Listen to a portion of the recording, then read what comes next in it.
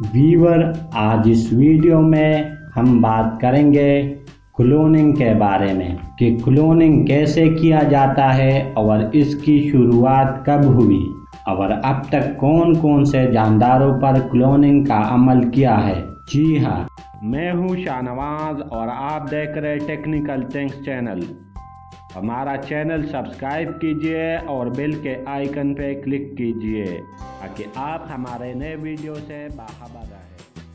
تو ویور چلیے شروع کرتے ہیں۔ پہلے بات کریں گے کہ کلوننگ کسے کہتے ہیں۔ کلوننگ سے مراد بنیادی طور پر تو ایک ایسی عمل کی ہوتی ہے کہ جس میں کسی بھی جاندار کی تولید با الفاظ دیگر نو پیداوار یعنی ریپروڈکشن کرنے کے لیے غیر جنسی سیکسول تولید کا سہارا لیا جاتا ہے غیر جنسی تولید ایسی تولید کو کہا جاتا ہے کہ جس میں جنسی نو پیداوار سیکسول ریپروڈکشن کی مانند دو والدین نر اور مادے کے تولیدی خلیات کا ملاب واقع نہیں ہوتا جیسے عام حالت میں ہوتا ہے، بلکہ والدین میں سے صرف کسی ایک والد یا والدہ بصورت دو جنسی جاندار کے خلیات یعنی سلز یا وراثی مادے سے نیا جاندار پیدا ہو جاتا ہے۔ اس کا طریقہ کار کچھ یوں ہے، جس میں کسی بھی زندہ جاندار کا حلیہ لے کر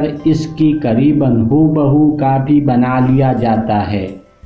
اس میں مادہ جاندار کا حلیہ لے کر اس میں سے مرکزہ یعنی جس میں ڈی این اے ہوتا ہے، نکال کر پینک دے۔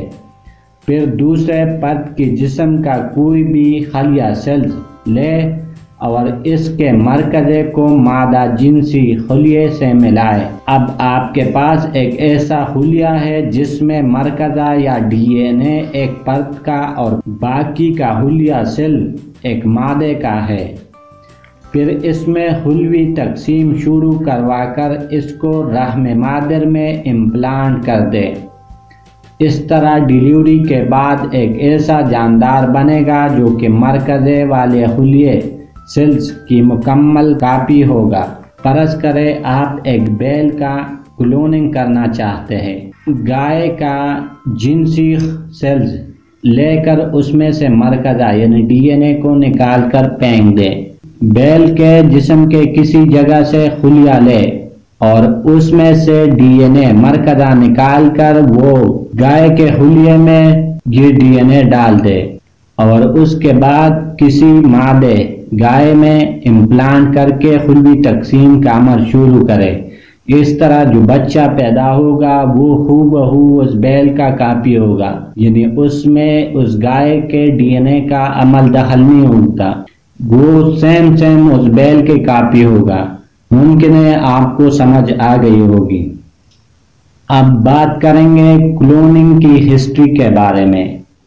ویور اس طریقے کو پہلی مرتبہ قریباً بیس سال قبل استعمال کر کے ڈولی نامی بیل بنائی گئی اور اس سے قریباً دو درجن جاندار بنائے جا چکے ہیں۔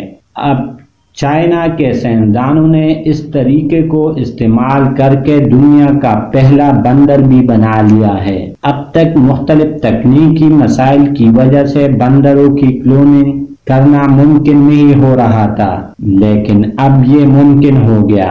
ویبر بندر اس لیے اہم ہے کہ بندروں کا ڈی این اے تقریباً انسانوں سے مشابہ ہے۔ یہی نہیں، بلکہ اب ڈی این اے میں کان جان کے ایک طریقے رسپر کے ذریعے بندروں میں اپنی مرضی کی انسانی جنیاتی بیماریاں متعارف کروانا بھی ممکن اور اس کو انسانوں کی بیماری کو سمجھنے اور ان کو تجرباتی علاج کے لیے استعمال کیا جا سکے گا۔ تکنیکی طور پر یہ طریقہ اب انسانوں میں بھی ممکن ہے۔ یہ اخلاقی مسائل کی وجہ سے فی الوقت اس کی اجازت نہیں۔ ممکن ہے وقت کے ساتھ انسانوں کے ذہن میں تبدیلی آ جائے اور انسانوں کی کلوننگ بھی شروع ہو جائے۔ تو یہ تھی آج ویڈیو کلوننگ کے بارے میں۔ آپ کو ہماری ویڈیو کیسے لگی؟